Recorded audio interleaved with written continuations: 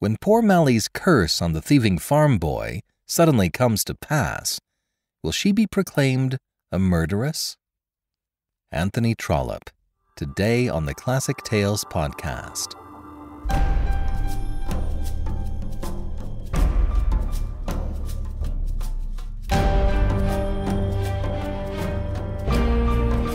Welcome to the Classic Tales podcast. Thank you for listening. We are proudly supported by our listeners. Many, many thanks to our financial supporters who pitch in every month to help us keep the lights on. If you enjoy the show, please sign up to be a supporter for as little as $5 a month. We'll give you a monthly coupon code every month as a thank you. Go to classictalesaudiobooks.com and become a financial supporter today. Anthony Trollope was a British writer of the Victorian period. He was very prolific, writing 47 novels, 42 short stories, and five travel books.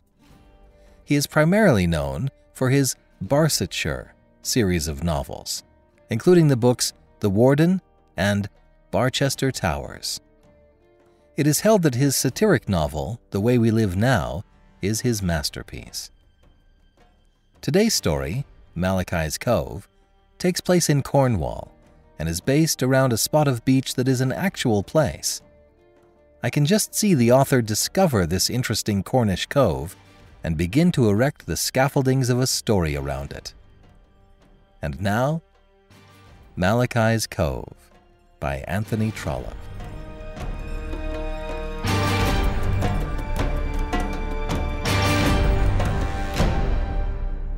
On the northern coast of Cornwall, between Tintagel and Bossiny, down on the very margin of the sea, there lived, not long since, an old man who got his living by saving seaweed from the waves and selling it for manure. The cliffs there are bold and fine, and the sea beats in upon them from the north with a grand violence. I doubt whether it be not the finest morsel of cliff scenery in England, though it is beaten by many portions of the west coast of Ireland, and perhaps also by spots in Wales and Scotland. Cliffs should be nearly precipitous.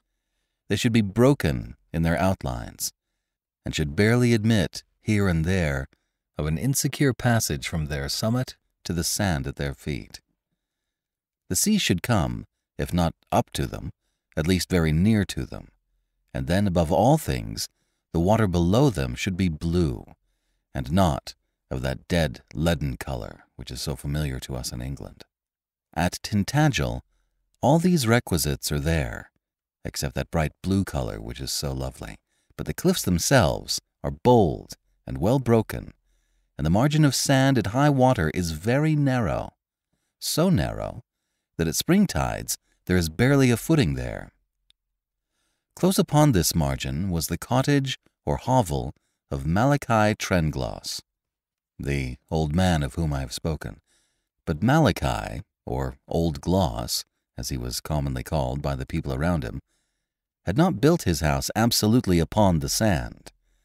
There is a fissure in the rock so great that at the top it formed a narrow ravine, and so complete from the summit to the base that it afforded an opening for a steep and rugged track from the top of the rock to the bottom.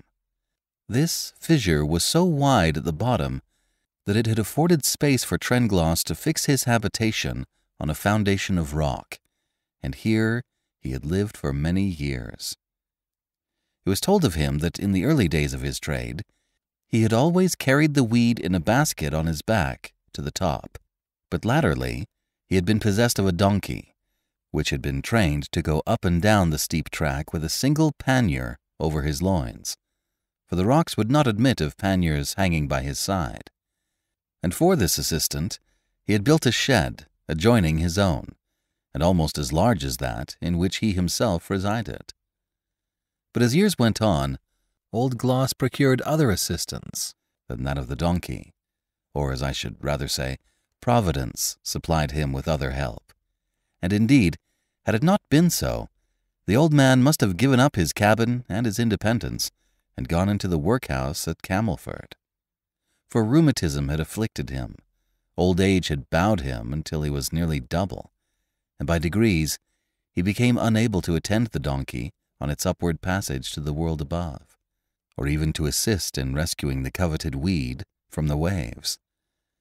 At the time to which our story refers, Trengloss had not been up the cliff for twelve months, and for the last six months he had done nothing towards the furtherance of his trade, except to take the money and keep it, if any of it was kept, and occasionally to shake down a bundle of fodder for the donkey. The real work of the business was done altogether by Mally Trengloss, his granddaughter. Mally Trengloss was known to all the farmers round the coast, and to all the small tradespeople in Camelford. She was a wild-looking, almost unearthly creature, with wild-flowing, black, uncombed hair, small in stature, with small hands and bright black eyes.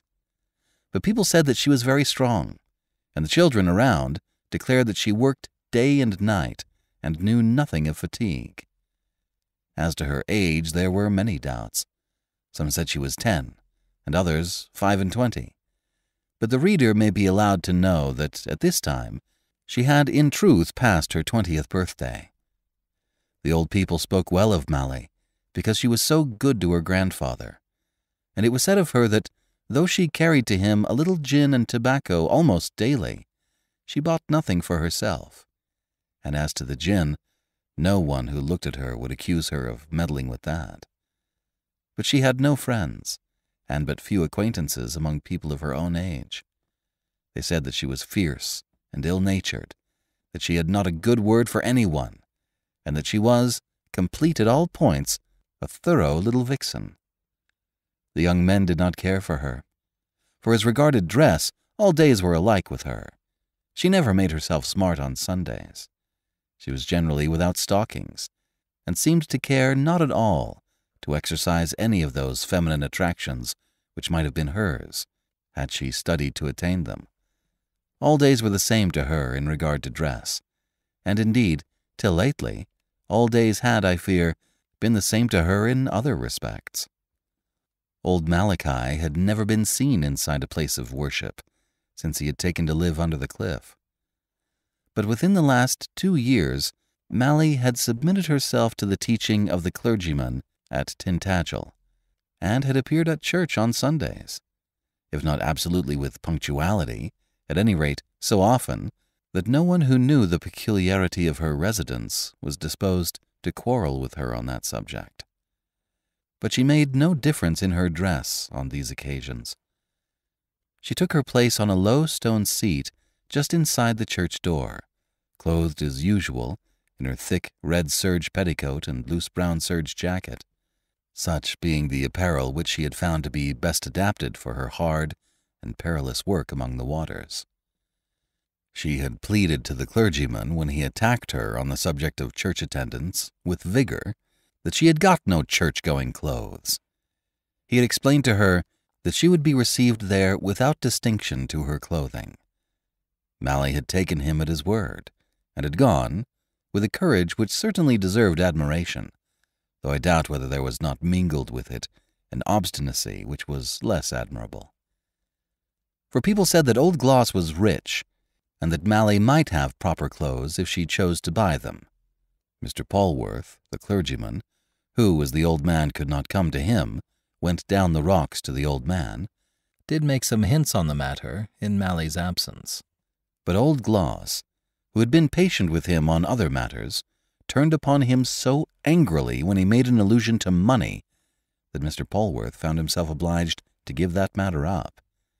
And Mally continued to sit upon the stone bench in her short serge petticoat, with her long hair streaming down her face.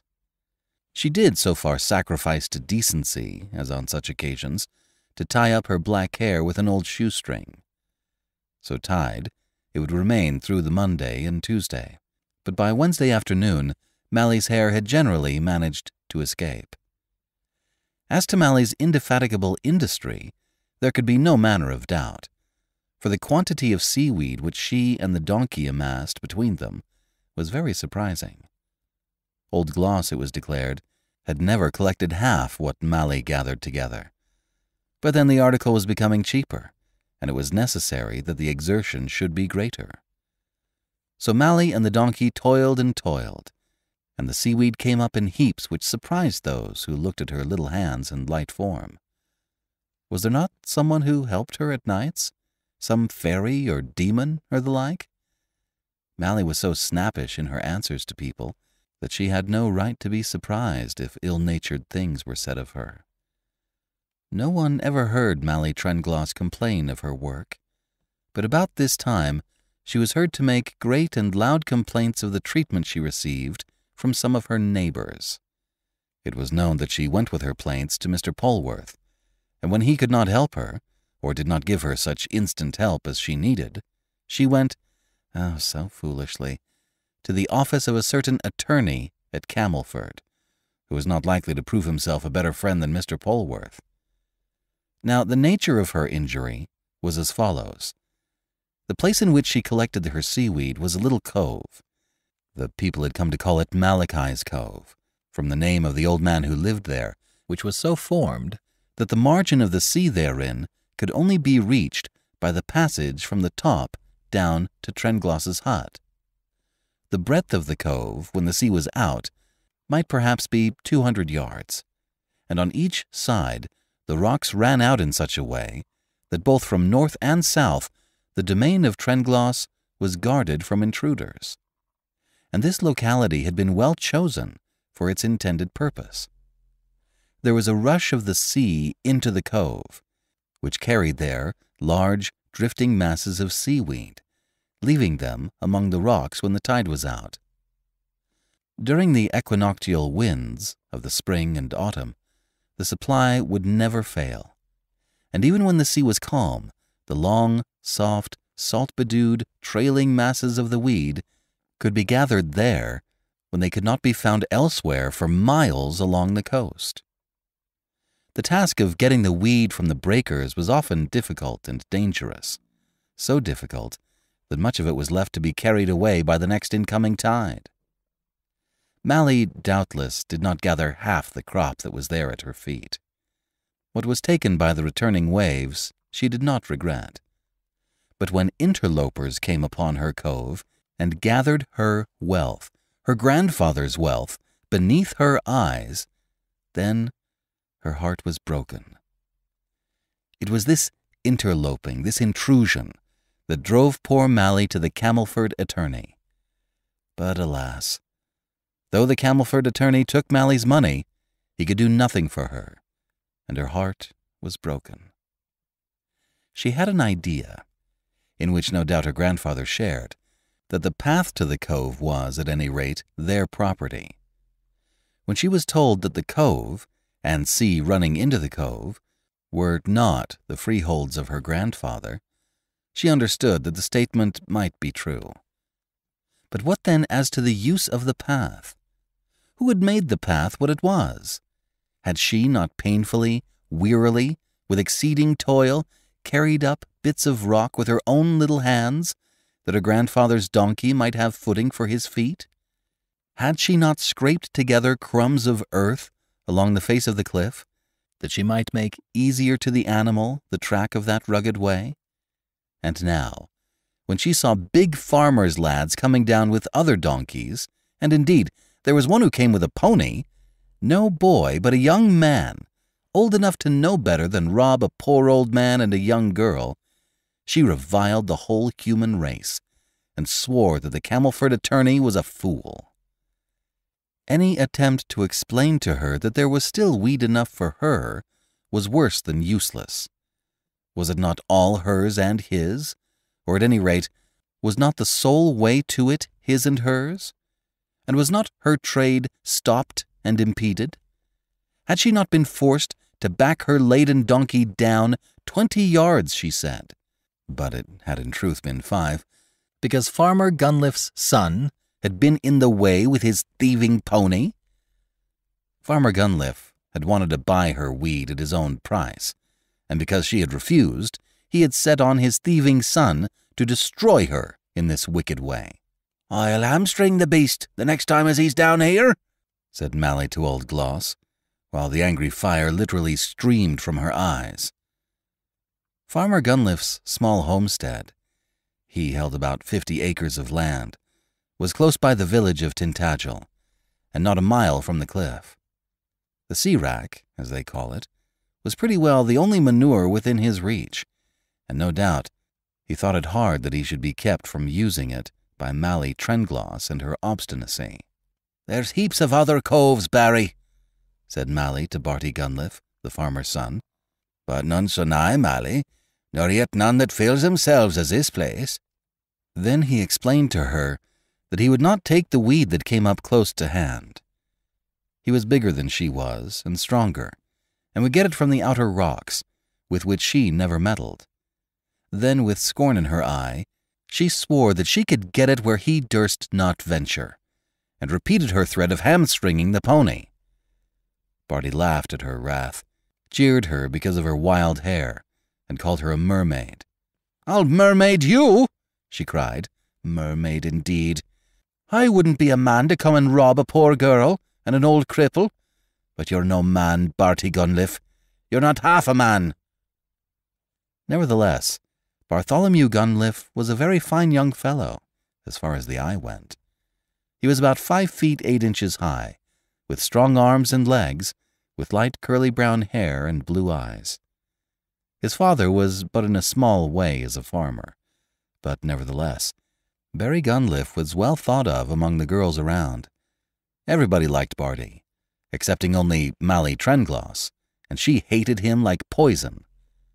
Barty, when he was asked why so good-natured a lad as he persecuted a poor girl and an old man, threw himself upon the justice of the thing. It wouldn't do at all, according to his view, that any single person should take upon himself to own that which God Almighty sent as the common property of all. He would do Mally no harm, and so he had told her.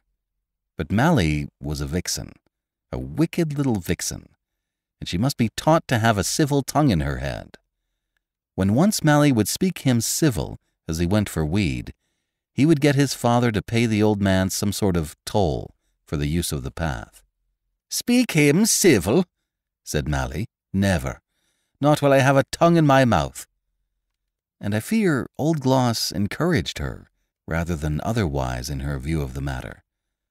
But her grandfather did not encourage her to hamstring the pony. Hamstringing a pony would be a serious thing, and old Gloss thought it might be very awkward for both of them if Mally were put into prison. He suggested, therefore, that all manner of impediments should be put in the way of the pony's feet, surmising that the well trained donkey might be able to work in spite of them. And Barty Gunliffe, on his next descent, did find the passage very awkward when he came near to Malachi's hut, but he made his way down.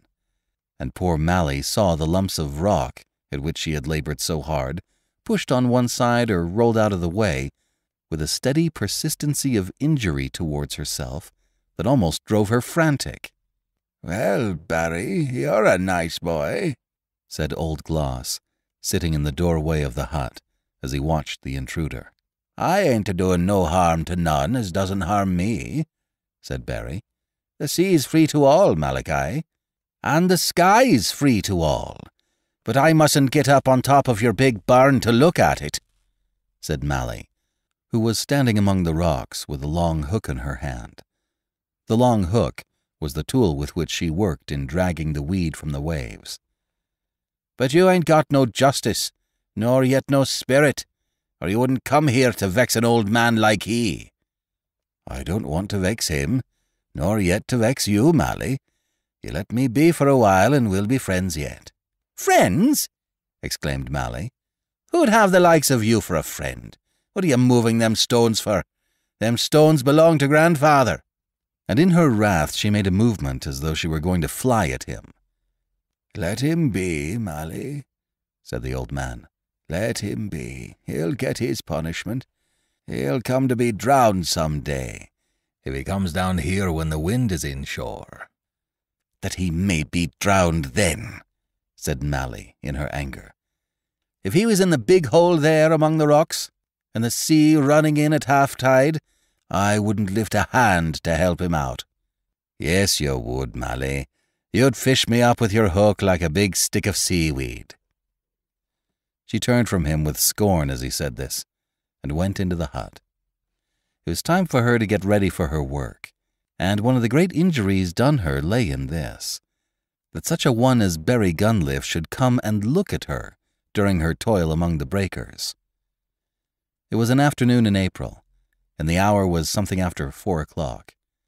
There had been a heavy wind from the northwest all the morning, with gusts of rain, and the seagulls had been in and out of the cove all the day, which was a sure sign to Mally that the incoming tide would cover the rocks with weed. The quick waves were now returning with wonderful celerity, over the low reefs, and the time had come at which the treasure must be seized, if it was to be garnered on that day. By seven o'clock it would be growing dark, at nine it would be high water, and before daylight the crop would be carried out again if not collected. All this Mally understood very well, and some of this Barty was beginning to understand also. As Mally came down with her bare feet, bearing her long hook in her hand, she saw Barty's pony standing patiently on the sand, and in her heart she longed to attack the brute. Barty, at this moment, with a common three-pronged fork in his hand, was standing down on a large rock, gazing forth towards the waters.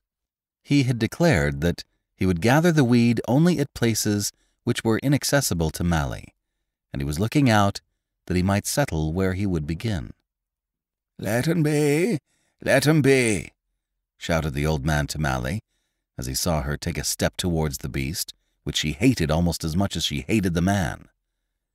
Hearing her grandfather's voice through the wind, she desisted from her purpose, if any purpose she had had, and went forth to her work. As she passed down the cove and scrambled in among the rocks, she saw Barty still standing on his perch. Out beyond, the white curling waves were cresting and breaking themselves with violence, and the wind was howling among the caverns and abutments of the cliff. Every now and then there came a squall of rain, and though there was sufficient light, the heavens were black with clouds. A scene more beautiful might hardly be found by those who love the glories of the coast. The light for such objects was perfect. Nothing could exceed the grandeur of the colors, the blue of the open sea, the white of the breaking waves, the yellow sands, or the streaks of red and brown which gave such richness to the cliff. But neither Mally nor Barty were thinking of such things as these. Indeed, they were hardly thinking of their trade after its ordinary forms. Barty was meditating how he might best accomplish his purpose of working beyond the reach of Mally's feminine powers and Mally was resolving that wherever Barty went, she would go farther. And in many respects, Mally had the advantage. She knew every rock in the spot, and was sure of those which gave a good foothold, and sure also of those which did not. And then her activity had been made perfect by practice for the purpose to which it was to be devoted. Barty no doubt was stronger than she, and quite as active, but Barty could not jump among the waves from one stone to another as she could do. Nor was he as yet able to get aid in his work from the very force of the water as she could get it. She had been hunting seaweed in that cove since she had been an urchin of six years old, and she knew every hole and corner and every spot of vantage. The waves were her friends, and she could use them. She could measure their strength, and knew when and where it would cease. Mally was great down in the salt pools of her own cove, great and very fearless. As she watched Barty make his way forward from rock to rock, she told herself gleefully that he was going astray. The curl of the wind as it blew into the cove would not carry the weed up to the northern buttresses of the cove. And then there was the great hole just there, the great hole of which she had spoken when she wished him evil. And now she went to work, hooking up the disheveled hairs of the ocean, and landing many a cargo on the extreme margin of the sand, from whence she would be able in the evening to drag it back before the invading waters would return to to reclaim the spoil. And on his side also, Barty made his heap up against the northern buttresses of which I have spoken. Barty's heap became big and still bigger, so that he knew, let the pony work as he might, he could not take it all up that evening. But still it was not as large as Mally's heap. Mally's hook was better than his fork, and Mally's skill was better than his strength. And when he failed in some haul, Mally would jeer him with a wild, weird laughter, and shriek to him through the wind that he was not half a man. At first he answered her with laughing words, but before long, as she boasted of her success and pointed to his failure, he became angry, and then he answered her no more. He became angry with himself, in that he missed so much of the plunder before him. The broken sea was full of the long straggling growth which the waves had torn up from the bottom of the ocean, but the masses were carried past him, away from him, nay, once or twice over him, and then Mally's weird voice would sound in his ear, cheering him. The gloom among the rocks was now becoming thicker and thicker. The tide was beating in with increased strength, and the gusts of wind came with quicker and greater violence. But still he worked on. While Mally worked, he would work, and he would work for some time after she was driven in. He would not be beaten by a girl. The great hole was now full of water, but of water which seemed to be boiling as though in a pot and the pot was full of floating masses, large treasures of seaweed, which were thrown to and fro upon its surface, but lying there so thick that one would seem almost able to rest upon it without sinking. Mally knew well how useless it was to attempt to rescue aught from the fury of that boiling cauldron. The hole went in under the rocks, and the side of it towards the shore lay high, slippery, and steep.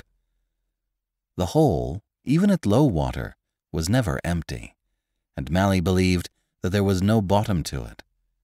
Fish thrown in there could escape out to the ocean, miles away. So Mally in her softer moods would tell the visitors to the cove.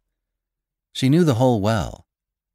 Poulnadioul, she was accustomed to call it, which was supposed, when translated, to mean that this was the hole of the evil one.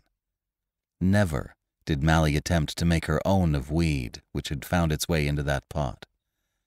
But Barty Gunliffe knew no better, and she watched him as he endeavored to steady himself on the treacherously slippery edge of the pool. He fixed himself there and made a haul with some small success. How he managed it she hardly knew, but she stood still for a while watching him anxiously, and then she saw him slip. He slipped and recovered himself, slipped again, and again recovered himself. Barty, you fool! she screamed. If you get yourself pitched in there, you'll never come out no more. Whether she simply wished to frighten him, or whether her heart relented and she had thought of his danger with dismay, who shall say? She could not have told herself. She hated him as much as ever, but she could hardly have wished to see him drown before her eyes. You go on and don't mind me, said he, speaking in a hoarse, angry tone. Mind you? And who minds you? retorted the girl. And then she again prepared herself for her work. But as she went down over the rocks with her long hook balanced in her hands, she suddenly heard a splash, and turning quickly round, saw the body of her enemy tumbling amidst the eddying waves in the pool. The tide had now come up so far that every succeeding wave washed into it and over it from the side nearest to the sea, and then ran down again back from the rocks, as the rolling wave receded, with a noise like the fall of a cataract. And then, when the surplus water had retreated for a moment, the surface of the pool would be partly calm, though the fretting bubbles would still boil up and down, and there was ever a simmer on the surface, as though in truth the cauldron were heated. But this time of comparative rest was but a moment, for the succeeding breaker would come up almost as soon as the foam of the preceding one had gone, and then again the waters would be dashed upon the rocks, and the sides would echo with the roar of the angry wave. Instantly, Mally hurried across to the edge of the pool, crouching down upon her hands and knees for security as she did so. As a wave receded, Barty's head and face was carried round near to her, and she could see that his forehead was covered with blood. Whether he were alive or dead, she did not know. She had seen nothing but his blood, and the light colored hair of his head lying amidst the foam. Then his body was drawn along by the suction of the retreating wave, but the mass of water that escaped was not, on this occasion, large enough to carry the man out with it. Instantly, Mally was at work with her hook, and getting it fixed into his coat, dragged him towards the spot on which she was kneeling. During the half minute of repose, she got him so close that she could touch his shoulder. Straining herself down, laying herself over the long bending handle of the hook, she strove to grasp him with her right hand, but she could not do it. She could only touch him. Then came the next breaker, forcing itself on with a roar, looking to Mally as though it must certainly knock her from her resting place and destroy them both. But she had nothing for it but to kneel and hold by her hook. What prayer passed through her mind at that moment for herself or for him, or for that old man who was sitting unconsciously up at the cabin, who can say? The great wave came and rushed over her as she lay almost prostrate, and when the water was gone from her eyes, and the tumult of the foam and the violence of the roaring breaker had passed by her, she found herself at her length upon the rock, while his body had been lifted up, free from her hook, and was lying upon the slippery ledge, half in the water and half out of it. As she looked at him, in that instant, she could see that his eyes were open and that he was struggling with his hands. Hold by the hook, Barty, she cried, pushing the stick of it before him, while she seized the collar of his coat in her hands. Had he been her brother, her lover, her father, she could not have clung to him with more of the energy of despair. He did contrive to hold by the stick which she had given him, and when the succeeding wave had passed by, he was still on the ledge. In the next moment, she was seated a yard or two above the hole, in comparative safety, while Barty lay upon the rocks, with his still bleeding head resting upon her lap. What could she do now? She could not carry him, and in fifteen minutes the sea would be up where she was sitting. He was quite insensible and very pale, and the blood was coming slowly, very slowly, from the wound on his forehead. Ever so gently, she put her hand upon his hair to move it back from his face, and then she bent over his mouth to see if he breathed. And as she looked at him, she knew that he was beautiful. What would she not give that he might live? Nothing now was so precious to her as his life, as this life which she had so far rescued from the waters. But what could she do? Her grandfather could scarcely get himself down over the rocks, if indeed he could succeed in doing so much as that. Could she drag the wounded man backwards, if it were only a few feet, so that he might lie above the reach of the waves till further assistance could be procured? She set herself to work as she moved him, almost lifting him. As she did so, she wondered at her own strength, but she was very strong at that moment. Slowly, tenderly, falling on the rocks herself so that he might fall on her, she got him back to the margin of the sand, to the spot which the waters would not reach for the next two hours. Here her grandfather met them, having seen at last what had happened from the door. Dada, she said, he fell into the pool yonder and was battered against the rocks. See there at his forehead. Mally, I'm thinking that he's dead already, said old Glos, peering down over the body. No, Dada, he is not dead, but mayhap he's dying. But I'll go at once up to the farm. Mally, said the old man, look at his head. They'll say we murdered him. Who'll say so? Who'll lie like that? Didn't I pull him out of the hole? What matters that? His father'll say we killed him. It was manifest to Mally that whatever anyone might say hereafter, her present course was plain before her. She must run up the path to Gunliffe's farm and get necessary assistance. If the world were as bad as her grandfather said, it would be so bad that she would not care to live longer in it. But be that as it might, there was no doubt as to what she must do now. So away she went as fast as her naked feet could carry her up the cliff. When at the top, she looked round to see if any person might be within ken, but she saw no one. So she ran with all her speed along the headland of the cornfield, which led in the direction of old Gunliffe's house. And as she drew near to the homestead, she saw that Barty's mother was leaning on the gate. As she approached, she attempted to call, but her breath failed her for any purpose of loud speech, so she ran on till she was able to grasp Mrs. Gunliffe by the arm. Where's himself?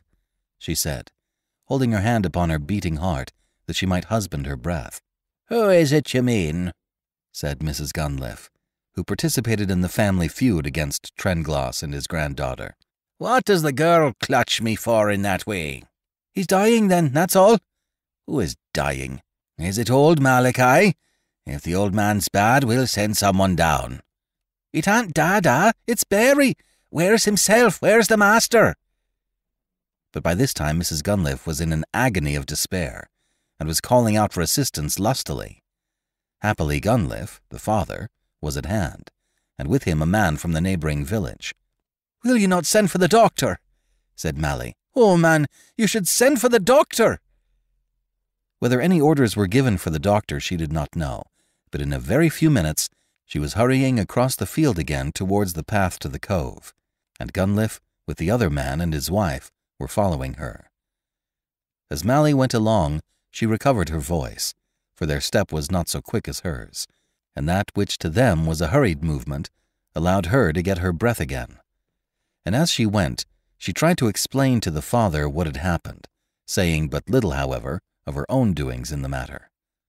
The wife hung behind, listening, exclaiming every now and again that her boy was killed, and then asking wild questions as to his being yet alive. The father, as he went, said little. He was known as a silent, sober man, well spoken of for diligence and general conduct, but supposed to be stern and very hard when angered.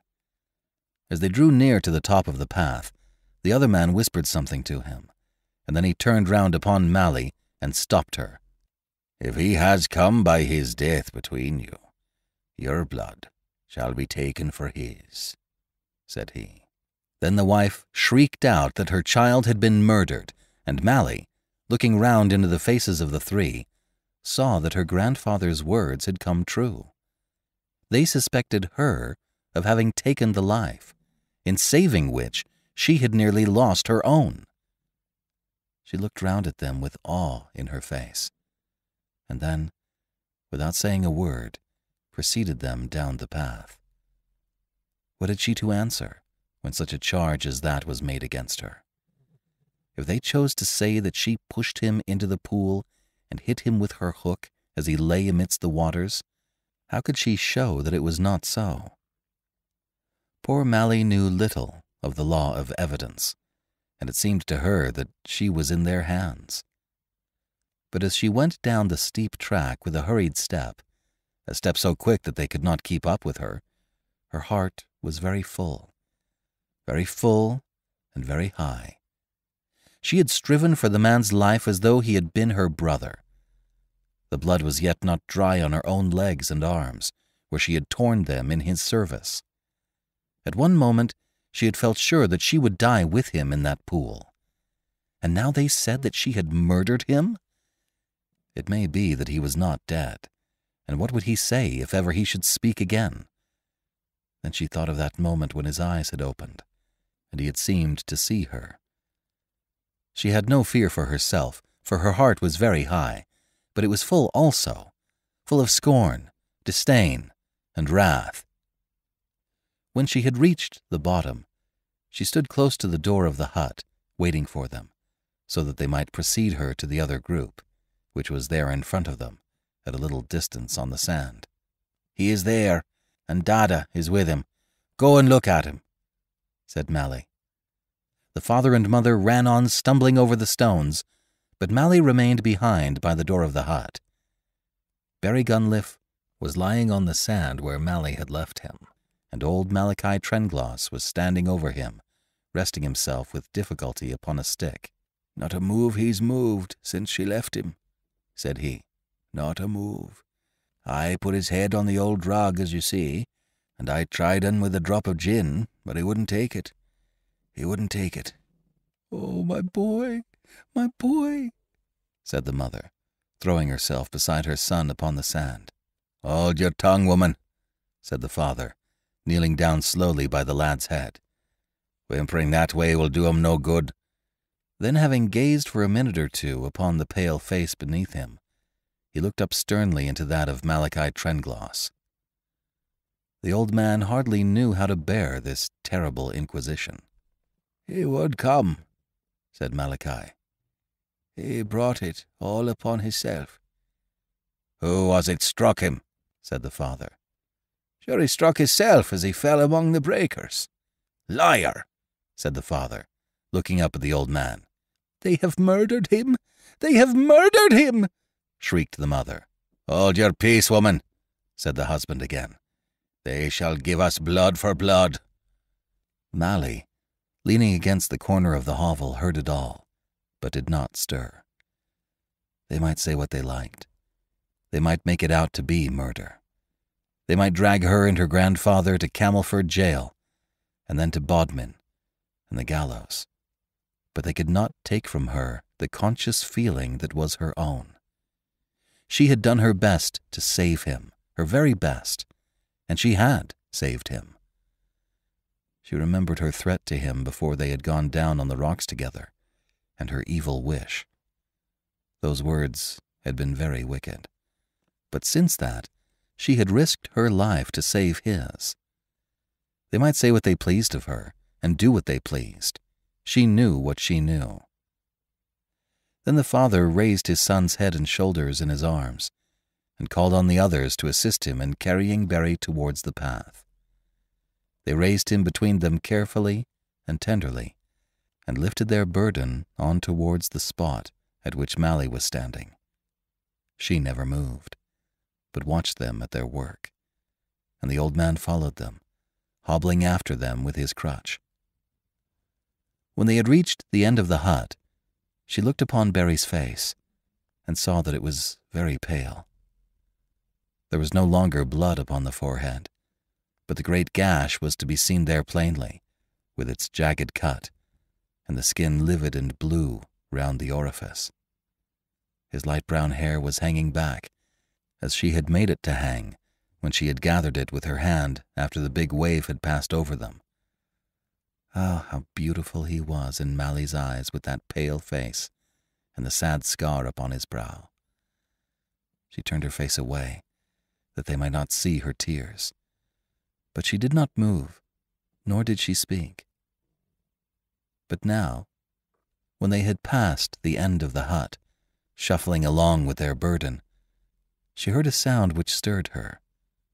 She roused herself quickly from her leaning posture and stretched forth her head as though to listen. Then she moved to follow them. Yes, they had stopped at the bottom of the path and had again laid the body on the rocks. She heard that sound again, as of a long, long sigh. And then, regardless of any of them, she ran to the wounded man's head. He is not dead, she said. There! He is not dead! As she spoke, Barty's eyes opened, and he looked about him. Barty, my boy, speak to me, said the mother. Barty turned his face upon his mother, smiled, and then stared about him wildly. How is it with thee, lad? Said his father. Then Barty turned his face again to the latter voice, and as he did so his eyes fell upon Mally. Mally, he said. Mally. He could have wanted nothing further to any of those present to teach them that according to Barty's own view of the case, Mally had not been his enemy. And in truth, Mally herself wanted no further triumph. That word had vindicated her, and she withdrew back to the hut. Dada, she said, Barty is not dead, and I'm thinking they won't say anything more about our hurting him. Old Glos shook his head. He was glad the lad hadn't met his death there. He didn't want the young man's blood, but he knew what folk would say. The poorer he was, the more sure the world would be to trample on him. Mally said what she could to comfort him, being full of comfort herself. She would have crept up to the farm if she dared, to ask how Barty was, but her courage failed her when she thought of that. So she went to work again, dragging back the weed she had saved to the spot at which, on the morrow, she would load the donkey. As she did this, she saw Barty's pony, still standing patiently under the rock. So she got a lock of fodder and threw it down before the beast. It had become dark down in the cove, but she was still dragging back the seaweed when she saw the glimmer of a lantern coming down the pathway. It was a most unusual sight, for lanterns were not common down in Malachi's Cove.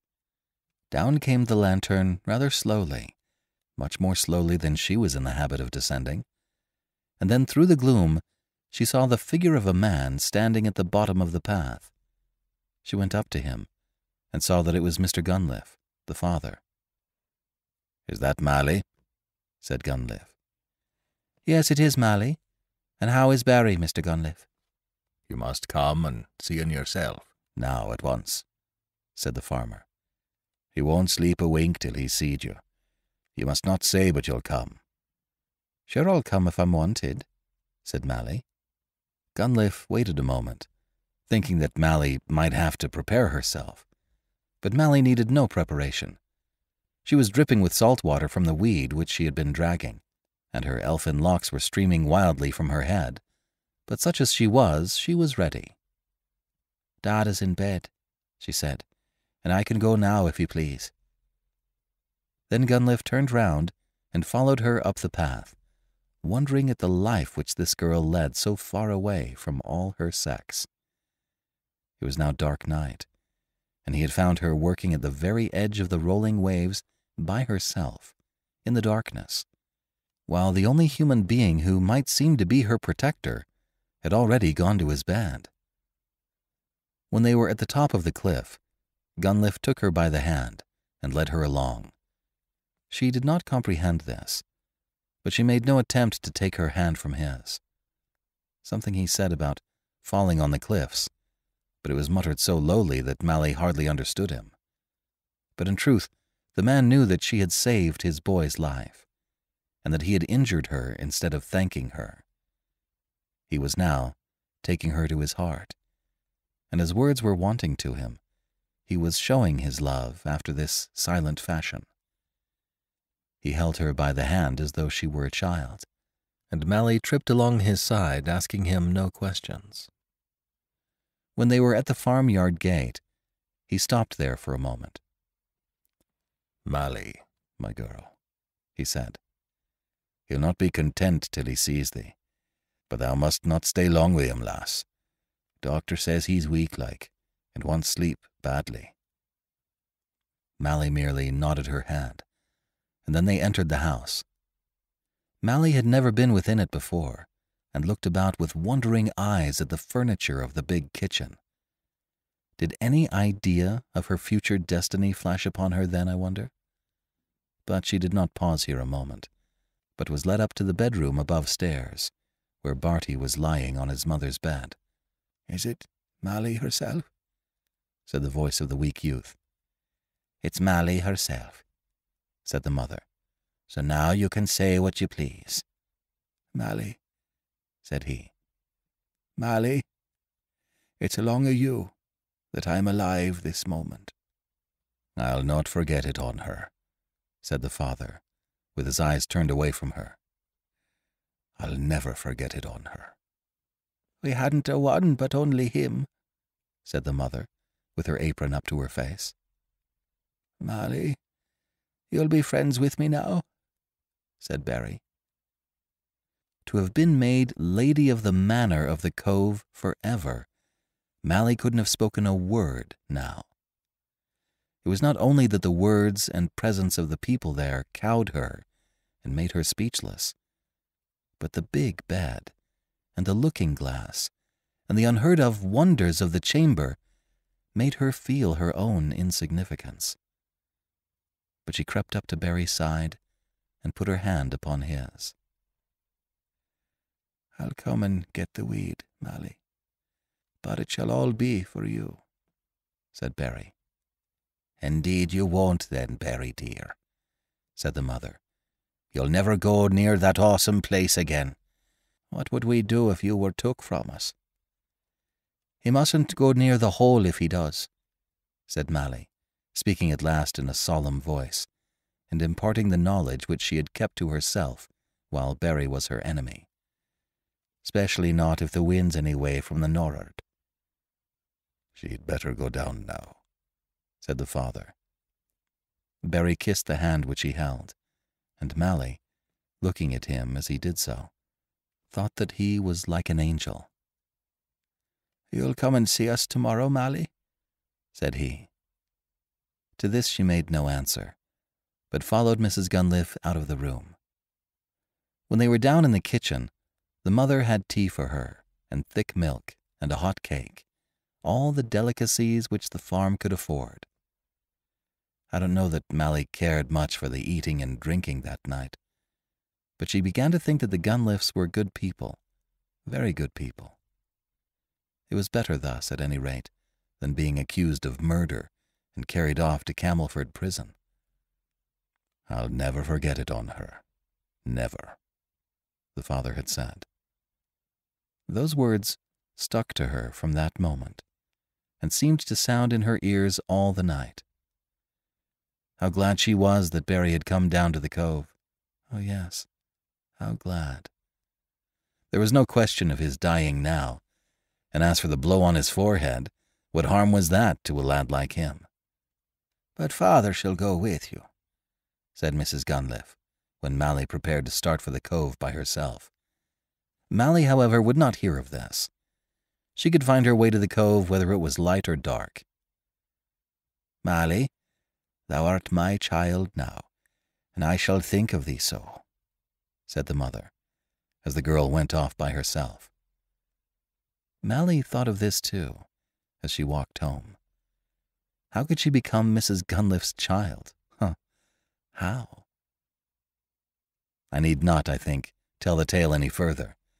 That Mally did become Mrs. Gunliffe's child, and how she became so the reader will understand. And in process of time, the big kitchen, and all the wonders of the farmhouse were her own. The people said that Barty Gunliffe had married a mermaid out of the sea, but when it was said in Mally's hearing, I doubt whether she liked it. And when Barty himself would call her a mermaid, she would frown at him, and throw about her black hair, and pretend to cuff him with her little hand.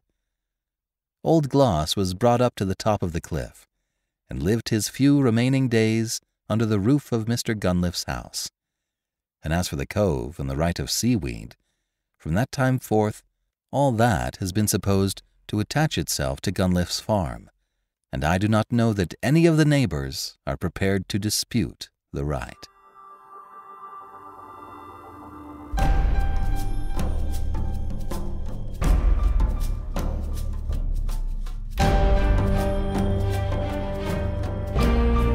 This is BJ Harrison. I hope you've enjoyed this unabridged production of Malachi's Cove by Anthony Trollope. If you have enjoyed this book, please become a monthly supporter by going to ClassicTalesAudiobooks.com. Donate $5 a month and get a monthly coupon code for $8 off anything in the store. Give more and you get more. Thank you so much for your support. Thank you for joining me today and allowing classic literature to awaken your better self. Please join me every week, and we'll rediscover the greatest stories ever put to paper.